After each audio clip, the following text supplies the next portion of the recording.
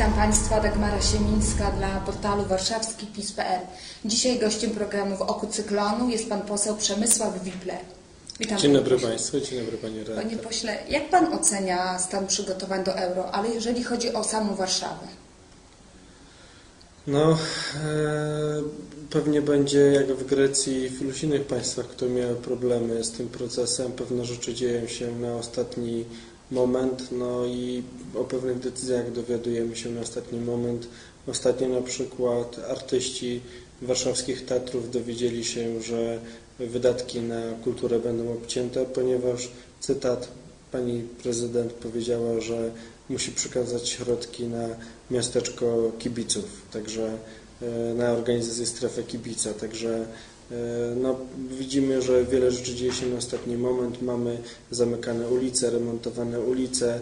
Miasto nawet w dniach, w których e, jest absolutnie przejezdne, czyli w sobotę, niedzielę, korkuje się, ponieważ kluczowe drogi, kluczowe arterie dopiero teraz są remontowane, przygotowane trawa malowana jest na zielono, latarnie na szaro, więc jak to e, u nas e, rzutem na taśmę na ostatni moment przygotowywane są prace. A według Pana co zyska Warszawa po euro? No, mm, trudno jest wskazywać e, jakieś takie trwałe pozytywy w sytuacji, w której nie została przygotowana spójna strategia, która miałaby zmaksymalizować zyski dla naszego miasta wynikające z Euro 2000, zyski wynikające z tego, że jednak e, krótko, krótkoterminowo duża grupa e, osób pojawi się w Warszawie, osób, dla których to będzie pierwsza wizyta w Warszawie, więc tutaj nie mamy porządnych, wiarygodnych szacunków w tym zakresie a długofalowo pozostaniemy z drogą do utrzymania infrastrukturą, która będzie, mam nadzieję, w najmniejszym stopniu wybawiła budżet miasta, a z całą pewnością będzie poważnym wyzwaniem i problemem dla budżetu państwa polskiego. A jeżeli chodzi o samo wykorzystanie stadionu, bo z tego co wiem nie ma żadnych planów y, w ogóle na wykorzystanie na następne lata, jest w planach ewentualnie koncept Madonny, ale w takim razie z czego miasto chce utrzymywać ten stadion?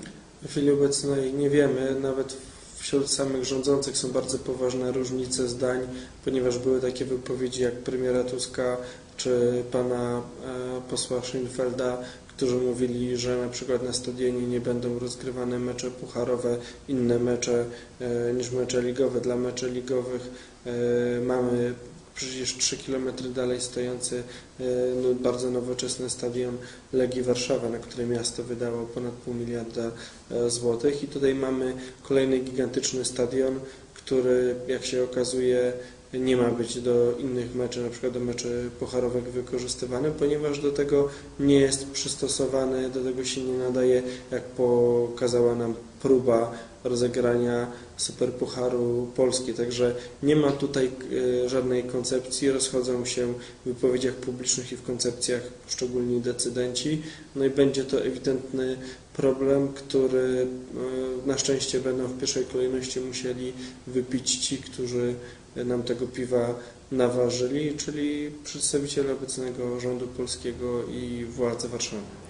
A teraz cofnijmy się do prezydentury świętej pamięci Lecha Kaczyńskiego. Chodzi o prezydenturę Warszawy. Czego Panu tak naprawdę brakuje w tym momencie? Powiem tak, e, przede wszystkim nie ma żadnej wizji rozwoju miasta. Motywem przewodnim obecnej prezydent Warszawy wydaje mi się wypychanie samochodów, osób używających samochodu z centrum miasta, likwidowanie kolejnych miejsc parkingowych, likwidowanie miejsc, w których można e, postawić e, samochód. E, są cały czas rosnące liczby urzędników zatrudnianych na zatrudnieniu ponad 2000 nowych urzędników na skalę takiego miasta jak Warszawa nawet. To jest istotna, zauważalna kwestia. Likwidacja szkół, brak e, filozofii e, finansowania kultury, o, czym już bardzo nieżyczliwi PiSowi artyści w ostatnim czasie donoszą. No, w momencie, gdy w Gazecie Wyborczej e, pojawia się tekst, e, w którym podstawowa jest taka teza za Kaczyńskiego było lepiej, to znaczy, że jest naprawdę, naprawdę niedobrze w poszczególnych sferach. No, nie ma wizji rozwoju edukacji, nie ma e, wizji rozwoju kultury. Sytuacja, w której której z gmin Warszawy, konkretnie Białołęka, za 60 milionów buduje przedszkole w momencie, gdy na Białołęce mamy dosyć dużą liczbę lokali, które są do wynajmowania e, na prowadzenie tego rodzaju e, działalności. Sytuacja, w której miasto płaci za jedno miejsce w żłobku e, ponad 2000 zł w tym żłobku komunalnym, a za zdecydowanie niższe kwoty rodzice na rynku są w stanie kupić tego rodzaju usługę, to pokazuje, jak duża jest miara nieefektywności Warszawy pod obecnymi rządami. Ten tekst, o którym Pan mówi, o kulturze, który się ukazał w Gazecie Wyborczej, to jest list reżysera Jarzyny, który powiedział, że e, za czasów świętej pamięci Lecha Kaczyńskiego były konflikty z władzą, jeżeli chodzi o teatr, ale to były konflikty ideologiczne i że Lech Kaczyński, mimo że nie zgadzał się, nie chciał, żeby jakiś spektakl był wystawiony ze względów ideologicznych, nie odbierał pieniędzy. Nawet nie chodziło o względy ideologiczne, mhm. ale kwestia tego, co wypada, co nie wypada, mhm. pewnego rodzaju tak. zachowania, które były traktowane jako obsceniczne, tak. łamiące pewnego rodzaju e, kanony e, klasycznej kultury, bądź mogące być obraźliwe dla e, części, czy nawet istotnej części e, warszawiaków. To były powody, e, dla których miały miejsce jakieś konflikty między ówczesnymi władzami Warszawy a niektórymi przedstawicielami środowiska artystów. Niemniej jednak teatr nie był głodzony, teatr nie był zabijany i nie było e, takich procesów, jakie w chwili obecnej mają miejsce. Likwidacji jednostek kultury, likwidacji e, placówek szkolnych. E, no można powiedzieć w chwili nie było też takiego gigantycznego zadłużenia miasta, które skutkuje rosnącymi kosztami obsługi długu, co uniemożliwia i utrudnia dalsze inwestycje prowadzone przez miasta w tą najbardziej kluczową, podstawową infrastrukturę.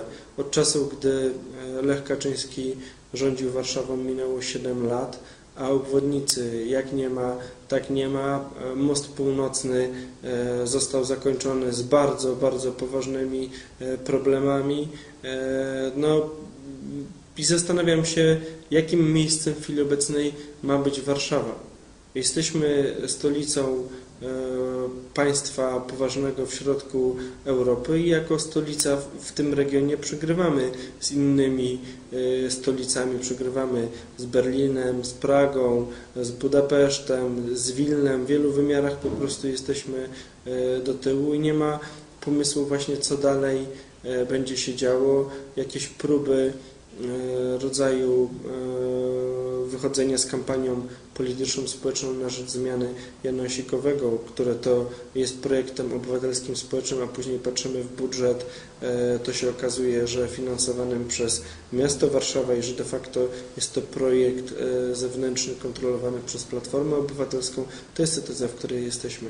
A rzeczy, której nam najbardziej brak, najbardziej brak jak powietrza, to jest jawność.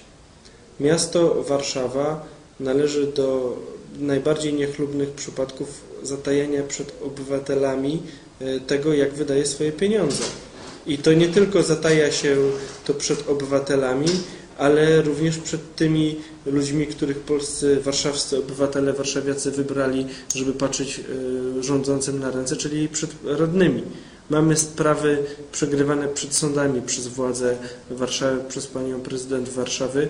E, przegrywane sprawy, w których radni dopominają się umów zlecenia, umów o dzieło. Chcemy się dowiedzieć, ile zostało wydanych pieniędzy, na co zostały wydane pieniądze, jakie były efekty tego. I to jest pewien taki fundamentalny, podstawowy problem. Jeżeli tutaj go mamy, to z wszystkim innym jest i musi być i niestety jest gorzej. A zajmijmy się przez chwilę sprawami polskimi. Jak Pan ocenia tą słynną reformę emerytalną? No tutaj krótko powiem, nie ma żadnej reformy, jest tylko e, zmniejszenie efektywne wypłacanych nam emerytur, zmuszenie ludzi do tego, żeby w okresie przed przejściem na emeryturę e, po prostu dłuższy czas pozostawali na bezrobociu I e, no cóż można powiedzieć, powiem krótko, wygramy wybory, to cofniemy tą decyzję. Wierzy Pan? E, To jest e, tylko kwestia jakichś dramatycznych naszych błędów. e, Może spowodować, że przegramy kolejne wybory. To jest jak w szachach, że trzeba popełnić mniej, mniej błędów niż druga strona, a Platforma w ostatnich pół roku dramatycznie wiele tych błędów popełniła, począwszy od sposobu zareagowania na akta, poprzez e, przeprowadzenie wbrew opinii 90% Polaków e, zmian systemu emerytalnego, poprzez podnoszenie kolejnych podatków, akcyza, została podniesiona VAT, został podniesiony, e, została podniesiona składka rentowa, zawiedziono w sposób bardzo poważny nadzieję e, Polaków i jak piszę w dzisiejszym tekście w Rzeczpospolitej, w którym apeluję o likwidację podatku PIT i zamienienie, zamienienie go na podatek prostszy, e, mniej kosztowny dla obywateli, dla przedsiębiorców i dla państwa, dla urzędów, e, Polska zajmuje 127 miejsce w rankingu państw przyjaznych podatnikom na 180 badanych i jesteśmy za Zimbabwe.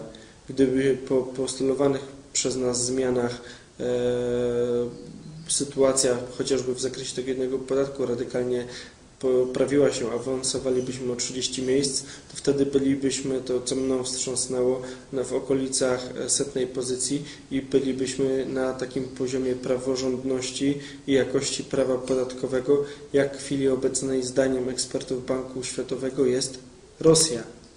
Jeżeli my jesteśmy prawie 30 pozycji za Rosją, która najdelikatniej nie jest państwem, e, którym praworządność e, jest synonimem nazwy Federacja Rosyjska, to naprawdę mamy powody do niepokoju, tym bardziej, że w trakcie tych pięciu lat rządów Donalda Tuska spadliśmy w tym rankingu i spadliśmy właśnie za Zimbabwe.